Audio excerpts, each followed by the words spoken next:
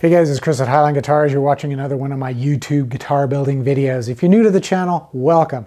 I hope that by the end of this video, you might consider subscribing because hey, it's free.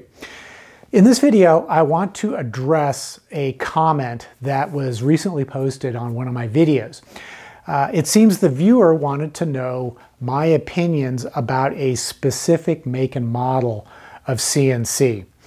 Now, whenever it comes to reviewing products or materials or um, techniques that I use in building guitars, I'm very hesitant to offer an opinion about something I haven't actually tried in my shop before. So I want to be kind of careful about what I say about something based solely on specifications that I've read on the internet about a specific product. So I'm not going to actually mention the name of the CNC machine or the model. I'm simply going to give an opinion about the category that this CNC machine is um, marketed in. So this particular machine was marketed as being capable of building guitars. And there are uh, quite a few folks out there who are trying to use it to build guitars. And this viewer wanted to know, is this really true? Can a machine specced out this way actually make guitars? Now, the reason why I feel um, qualified to talk about this is because I've owned three, and three different CNC machines over the years. Uh, I had an X-Carve original that I used for several years. Then I designed and built my own CNC machine which by the way, if you'd like to build your own, I offer plans for that on my eGuitar Plans website, as well as down in my uh, YouTube merch shelf, which is displayed below the description for this video. And then I upgraded to the Inventables X-Carve Pro. So I have a pretty good idea of what kind of machines actually work for building guitars and what don't. The bottom line is, if it's too good to be true, or if it seems too good to be true, it probably and most likely is. Can a machine that is priced at $1,000 or less actually make a guitar? Well, the answer is yes, but with a huge asterisk. There are several things that you need to consider when looking at a machine like that before you pull the trigger. First of all, you have to consider your expectations. If you're just a weekend hobbyist and you're thinking you'd like to maybe make a guitar and, and maybe some other projects, one of those machines might work for you. If, however, you're thinking about taking your guitar building business to the next level by adding CNC capabilities, you might want to rethink the cheaper machines because what you're going to need is going to be of a much higher level. Typically, when we get into CNC, what we're looking to do is make a product as fast or faster than we were able to do so using traditional techniques. Now, with respect to guitars, that means a bandsaw, a drill press, a planer, a joiner, and a router. So the CNC machine should allow you to make a guitar body or a guitar neck as fast or faster than you could with those older machines.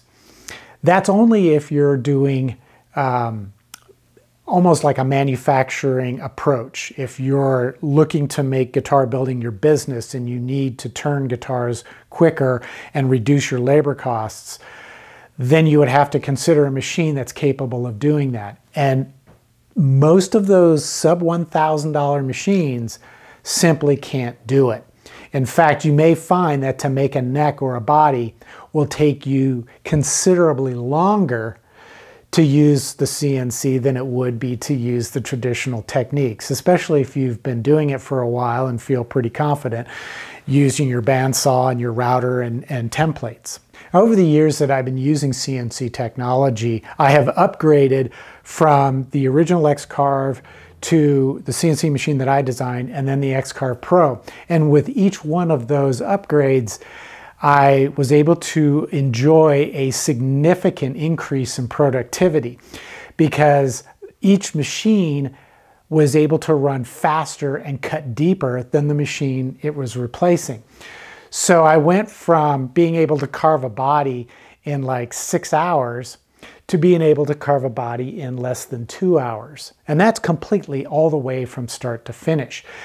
With a lot of these budget CNC machines, the sub $1,000 machines, out of the box, you're probably not going to be able to cut a guitar body uh, in a reasonable amount of time. In fact, you're probably not going to be able to do any significant carving unless you do some significant upgrades. You're going to need to replace the spindle and you're going to need to increase the workspace, uh, the cutting area that the machine is capable of. Now, when shopping for one of those sub $1,000 machines, there's a number of things you're going to have to consider. And these are things that you're going to want to weigh with other possible decisions, which I'll explain in a minute. First thing you want to do is look at the machine and its capabilities and its specifications out of the box when you first get it. Probably not going to be able to cut guitars in its stock form. It's going to need to be modified. What will those modifications entail? Is this something that you can actually do? Is there a kit that you can purchase as an accessory to do this? And then you're going to have to consider what that cost is going to be because you'll you'll spend, for example, $700 for the machine, but then you may spend another $300 for the upgrade kit to inc uh, increase its capacity.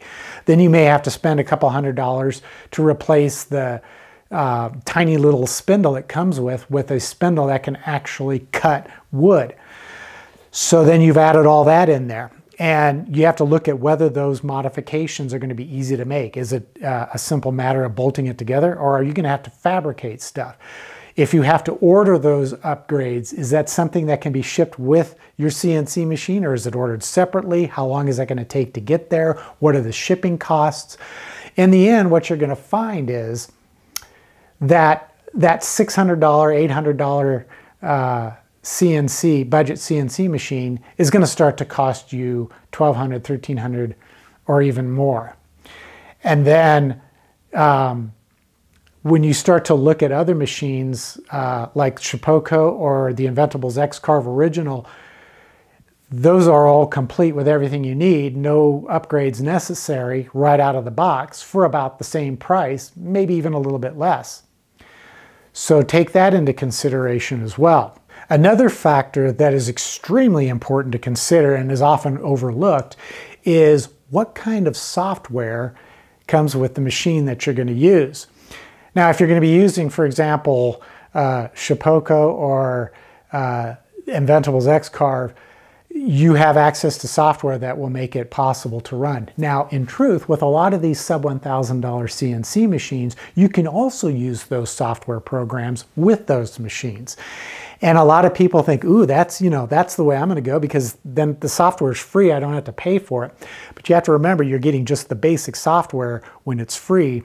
And there's no telling how long it will remain free.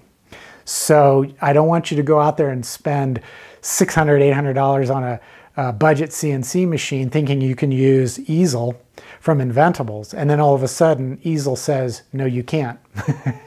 because if that happens, and it could happen, that $600, $800 CNC machine is just a useless tool sitting on a table. And in order to use it, you're going to have to invest some money into software that you can use to run it, and that could get really expensive. Now, I'm not necessarily trying to dissuade you from using one of these budget cheapo CNC machines.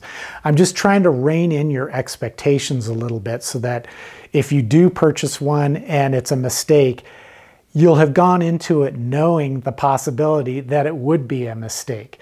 Because in the end, there is a massive difference between a CNC machine that has 25 millimeter ball screws and a CNC machine that uses belts. And that right there should be an indication of what the capabilities are. I'm not saying you can't build a, a, guitar using one of those cheap CNC machines.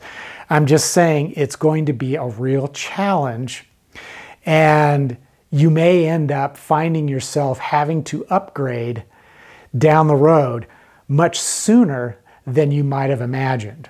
So I hope you found this video to be useful and I know it will be somewhat controversial to some folks. And in the end, uh, if you did find it useful, be sure to give it a thumbs up. And as always, if you'd like to help support the channel, you can visit my eGuitar Plans website, purchase a plan, you know, for a CNC machine that you can build yourself, a guitar that you might want to build. And, you know, you can also visit my YouTube merch shelf where I have those same plans for sale as well as some t-shirts. So until the next episode, as always, take care, stay safe, and I hope to see you soon.